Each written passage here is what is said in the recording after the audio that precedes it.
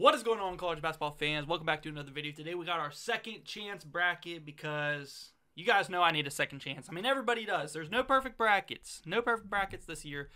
Kind of, you know, uh, surprising because for the most part, we're getting a chalk madness this year. I mean, there's one double digit seed in the Sweet 16, and that's NC State, not even a mid major. We have no mid majors in the Sweet 16. Yeah, we have San Diego State, but the Mountain West, is, are they really considered a mid major at this point? We know Gonzaga's not a mid major. Um, yeah, kind of insane the amount of chalk that we got this year, but that's going to make for a very entertaining second weekend of March Madness. I was still very entertained by the first weekend of March Madness, and yeah, I'm super excited to get into it. I just want to say subscribe if you guys are new. We do a ton of college basketball content here on the channel. We got lot, lots, and lots, and lots of good stuff coming out on the channel. You don't want to miss it. And yeah, guys, I'm ready to get started. I just want to say real quick, I've been seeing your guys' comments. I've been seeing your guys' tweets over the whole first weekend of March Madness. No, I'm not in the March. I'm not in the Buffalo Wild Wings box out commercial. I'm not. I I know I look like him. Okay, I'm not. Last year I looked like Ryan Kalkbrenner. This year I got longer hair and I look like a freaking Buffalo Wild Wings guy. I'm not him, okay? I just want to say that. Okay. Let's get into it. Let's get into these predictions. We got some really good matchups. I mean, really, all of these matchups have a pretty good storyline. Um, and just like, they're just good matchups. Like, the way these two teams match up, whoever wins these are going to be very, very deserving of making making it to the Elite Eight. So it's going to be some high con- competitive basketball and let's get it started. So we got UConn and San Diego State rematch from last year's national championship game. And wow, both these teams have looked very, very good as of late, and especially in the last round. I mean, UConn beat up on not only Stetson, but on Northwestern. And they, they just look so, so good and like they're to be unbeatable. But San Diego State, man, they've been looking really, really good as well. I mean, to go into the second round, yeah, they were facing Yale, but they beat up on Yale, and that Yale team beat a very, very good Auburn team. So, yeah, I, I don't. I think I'm gonna go UConn in this matchup. I just, even though I really do like Jaedon LeDee, I feel like Donovan Clingan down low is a lot of size they're gonna put on him. Um, they just have a lot of guys that can shoot the rock. They had the best set offense in the entire country. And at this point, the way UConn's looked so far, yeah. I know everybody's saying, yeah, they're going to be back to back champions, back to back champions. I was saying that, but like, we haven't seen back to back champion in a very long time. So, wasn't really sure if it was going to happen. But they, they look really, really good. And it's definitely looking like a possibility. Next up, we got Illinois versus Iowa State. This is like the big matchup game that I was super that I'm super excited to watch because it's Illinois, one of the best offenses in the country, versus Iowa State, one of the best defenses in the entire country. And I'm not really sure where I want to go with this. Like, this is very 50 50 of a matchup for me. I don't know who's going to win. I, I always tend to lean, I want to lean more towards the defense. But I could see uh, Illinois just going crazy. I mean, Terrence Shannon Jr. has not slowed down from that Big Ten tournament run. He has been killing it in the NCAA tournament as well. But Illinois also played, you know, Morehead State and Duquesne. Like, whereas Iowa State, I, in my opinion, played two much better teams in Drake and Washington State I got to go with the defense in this one. I got to go with Iowa State here to move on to the Elite Eight. They're just so good, and, and, honestly, I feel like I trust Iowa State a little bit more here to get the job done. Next up, next region, we got Houston versus Duke, and wow, I, the way that Duke and especially Jared McCain, the way Jared McCain was shooting in their last game, like against James Madison. That's the thing. Like James Madison, very good mid major. Like I thought James Madison definitely had a shot at Duke. And I think a lot of people did. But then that game started and Duke was just off to the races. Right off the start, Jared McCain was knocking down a ton of threes.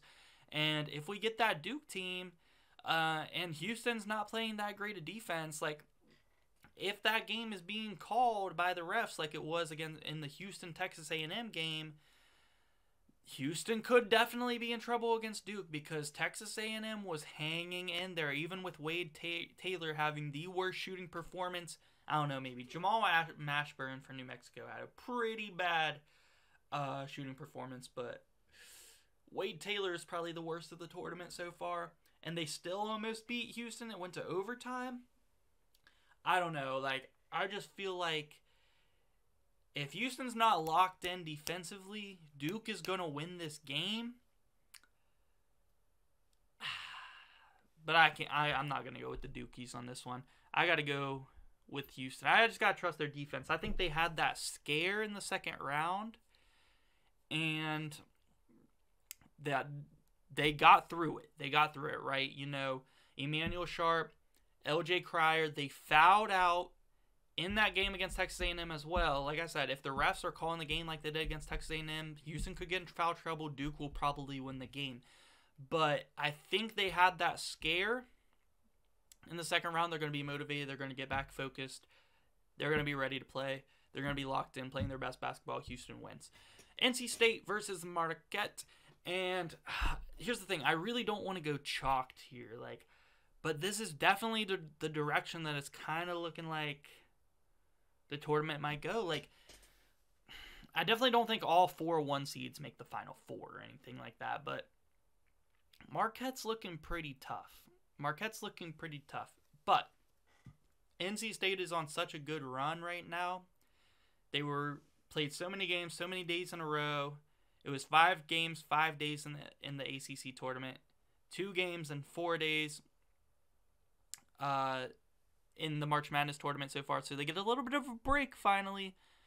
Let's lock in DJ Burns, the best story of March Madness so far this season. We got to go NC State right here to continue on the run. I mean, DJ Burns, DJ Horne didn't even hit a shot until the last minute of the Oakland game, and NC State was still able to find a way against a very hot Oakland team that was just killing it. And, and I just like DJ Burns, if he has you one on one in the post, he is going to score, and he is very underrated when it comes to passing out of the post because the way Oakland was doing him, every time he would catch the ball down low, he was getting doubled.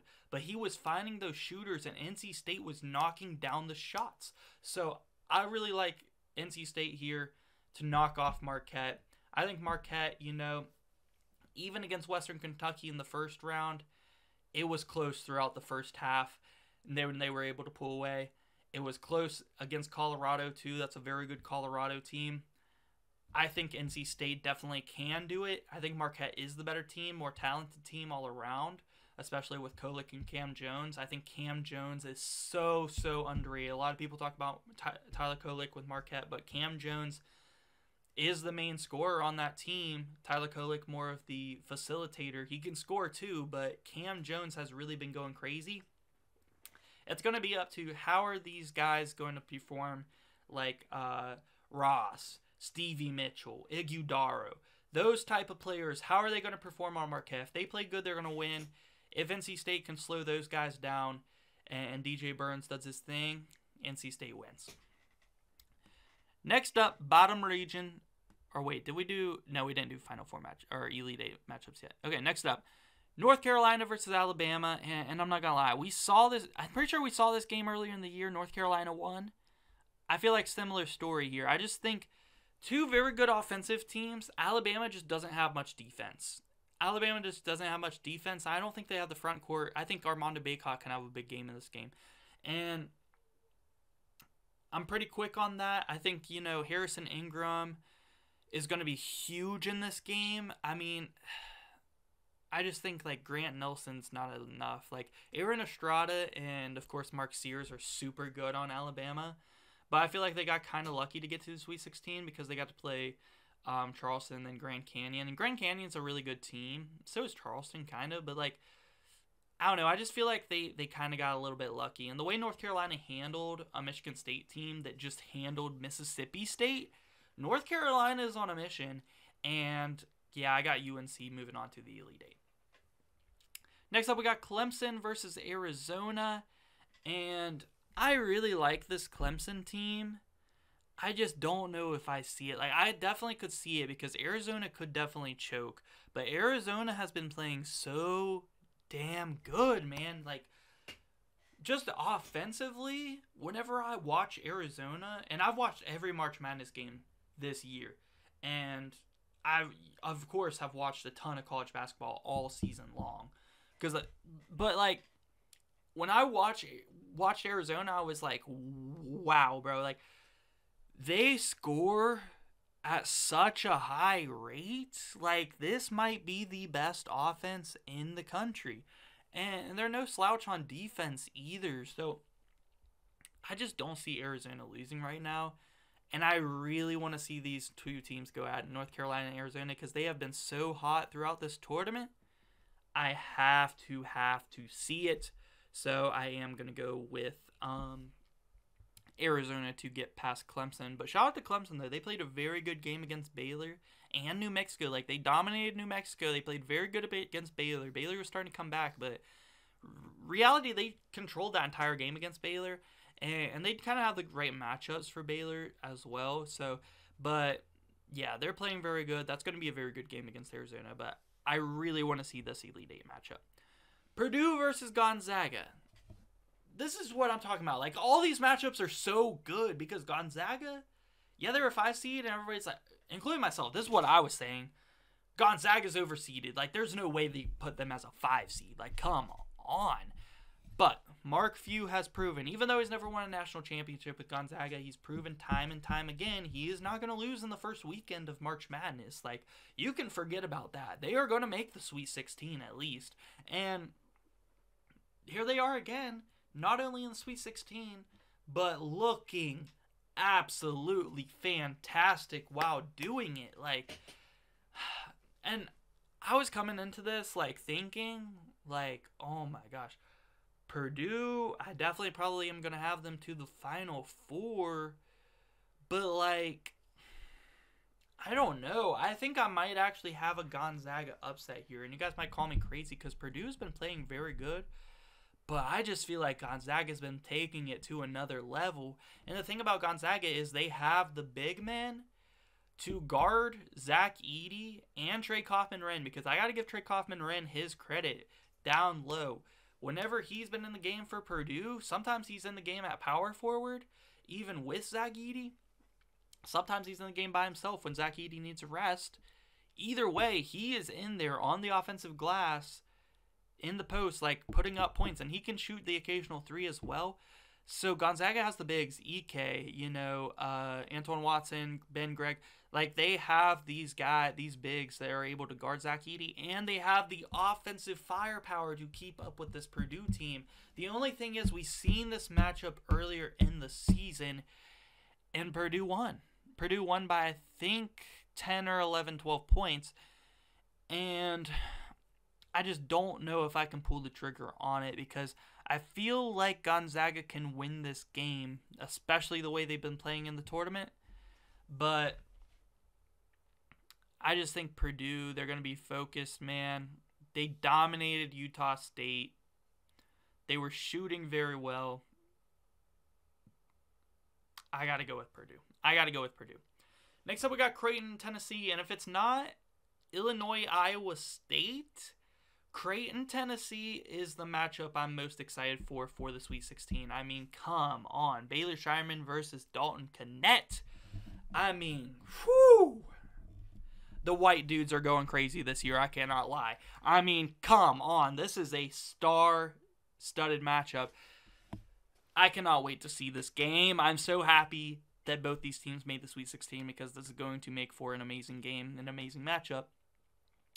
Ryan Kalkbrenner versus Tennessee's, you know, solid. Ah, it's just all around going to be a great matchup. I think the difference maker is Trey Alexander. I think Trey Alexander is so darn good at defense, offense, such a good two way player.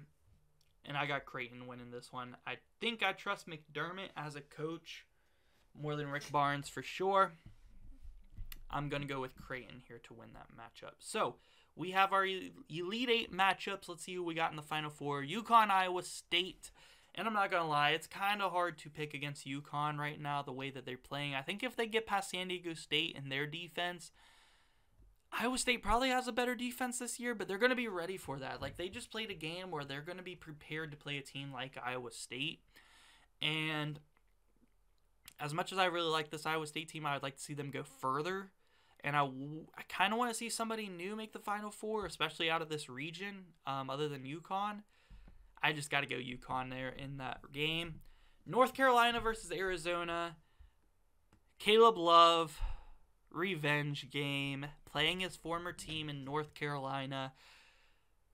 That is going to be absolutely amazing. I can I really hope we get that matchup. I think we will, honestly. Um, I could see Clemson maybe knocking off Arizona, but I really want to see this matchup in the Elite Eight. Oumar Ballo versus Armando Bacot. Caleb Love versus uh, Cormac Ryan. You got Kylan Boswell, RJ Davis. I mean, come on, man. I kind of like Arizona in this game. I think I'm going to go with Arizona. I mean, I think I was a little bit hesitant on Arizona in like my main bracket just because they've been losing earlier in the year, uh, earlier in the tournament the past couple of years. But this year they look really, really good, and they don't look like they're going to slow down either. So I think I'm actually going to trust them a little bit here to make it to the final four. I'm going to have Arizona move on. Next up, we got NC State versus Houston. I really would like to see NC State do it, but I feel like Houston is like a, a matchup nightmare for a team like NC State. Like, I think that they definitely could beat a team like Marquette. That's pretty realistic. And maybe if Duke can knock off Houston, I feel like, you know, NC State just beat Duke in the ACC tournament. So, like, honestly, NC State matches up a lot better with Duke. I just feel like Houston, the way they play defense, the way that I feel like they could actually guard DJ Burns down low one on one with guys like um, uh, J'Wan Roberts. Um, and, they have a ton of good defensive guards that are going to be there, going to hit the rotations. Jamal Shead's going to get his steals. Like, I just feel like this is a night uh, a matchup nightmare for NC State, and sadly, I am gonna have them go out here at the Elite Eight. This is where I had them. I actually had them in the Elite Eight in my original bracket, so I'm gonna have them go out the same place that I originally had them go. I just feel like that's a horrible matchup for them. And yeah, next up we got Purdue versus Creighton, and Ryan Kalkbrenner on Zach Edey. That's gonna be a lot of fun.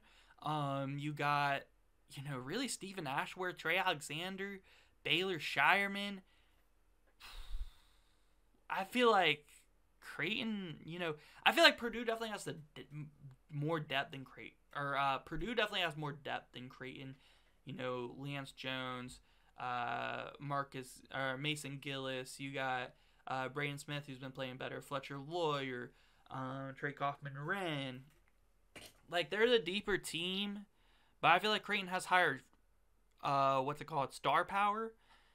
And I feel like Ryan Kalkbrenner, if he stays out of foul trouble, he could get this Creighton team to the Final Four with his defense on Zach Edey.